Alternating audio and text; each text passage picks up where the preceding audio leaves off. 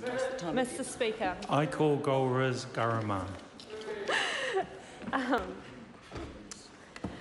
Mr Speaker, I rise in support of this bill, and um, as previous speakers have uh, laid out quite uh, aptly, it, it, has three components.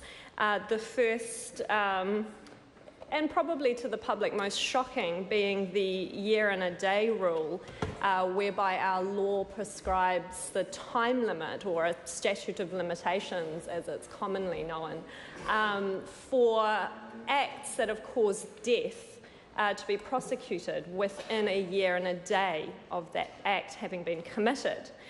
Um, now, this kind of limitation is normally um, put in place to protect the fairness of proceedings. Um, it, it is true that after, a, after many, many years, proceedings can no longer be fair, especially in very serious criminal trials. Um, witnesses can pass away over time, memories fade, um, and, and, and it's no longer to defend cases properly. There's also, in terms of natural justice, an expectation that a person shouldn't be um, living with the stress of, of serious criminal charges hanging over them without certainty. Um, having said that, this arbitrary time limitation does seem particularly short, um, especially in light of uh, sort of advent of DNA uh, evidence and, and, other modern technological advances that preserve evidence and also um, mean that we can adequately investigate and prosecute crimes um, over, over years of time that we weren't able to do previously. Um, so, New Zealand obviously has, uh, as the Minister pointed out, experienced um, this, this limitation in the case of the Christchurch CTV building tragedy, in which 115 lives were lost uh, during the Christchurch earthquake. Uh, the police investigation uh, took three years. We spent millions of dollars. The, there was a Royal Commission of Inquiry, and the police uh, team in charge of that investigation concluded that their case for criminal negligence was very clear. And even though that was the case, even though this could have been a case where negligence by uh, the building team, the company that had undertaken um, the, that building, and the engineer himself could have been held criminally liable, which is actually very rare and, and would have been extraordinary um, in terms of bringing justice to those victims, uh, the police had to abandon that case under legal advice uh, because of this provision. So the families were let down, but I would argue also a very important opportunity was lost for New Zealand to hold to account those who put profits um, and expediency of their access to those profits ahead of safety and, in fact, risk lives. Um, we know that bringing a civil case against a company in those circumstances will only uh, result in a monetary fine or compensation, and we know that that can be circumvented through um, declaration of bankruptcy, or, um, or, or, indeed, even, even if payment is made, it's only made by the company as a whole um, criminal charges in that case would have held individuals to account, the individuals who made those decisions, um, who were responsible for the negligence that resulted in death. And we could have had precedent case whereby um, those types of uh, sort of reckless behaviours for profit could be deterred in future.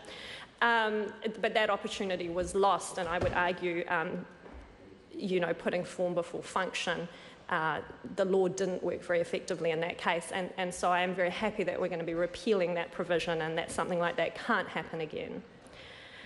The second aspect of, of this um, bill is, is again an, a very um, arbitrary line drawn in the sand in our criminal justice system, whereby uh, immunity is given to spouses or uh, civil partners uh, for becoming accessories after the fact to a crime. Now, it is a very important function of our system of justice that the police can prosecute those who assist um, in perverting the course of justice after a crime has happened or assisting uh, the principal in, in, essentially getting away with, with a crime. And, and to say that a special kind of relationship arises in marriage or civil partnership uh, whereby the police can no longer hold someone to account, um, and those circumstances does seem perverse and contrary to, to the uh, intention of having accessory after the fact it, it, on our law books at all. It, it is almost always going to be someone um, in some kind of close relationship with the principal offender that commits a crime like that, um, helps them to cover up um, their actions, or helps them to get away, or helps them to pervert the course of justice. So, so it, is, um, it is a strange anomaly again um, that I'm glad we're doing away with um, to bring consistency and effectiveness to our criminal justice system. The third aspect to this bill is something that uh, the Green Party wholeheartedly supports. And I do want to congratulate warmly my friend and Labour Party colleague, Angie Warren Clark, for bringing that members' bill, which was now taken up by this uh, government bill and will pass. Bringing our laws in line with the, uh, with the very secular uh, open society that New Zealand is in the 21st century. I was actually quite surprised that, that, that uh, blasphemous libel remained on our criminal uh, books, to be honest. It does seem medieval, uh, and, and of course, it hasn't been prosecuted since 1922. Um, the churches and church community who it was supposed to protect no longer agree that it should remain um, on the books. And in fact, um, our former colleague, uh, the Right Honourable Bill English, um, a devout Catholic, supported uh, this crime being removed for, from the books. Um, so it's no longer really um, consistent with New Zealand culture and our values.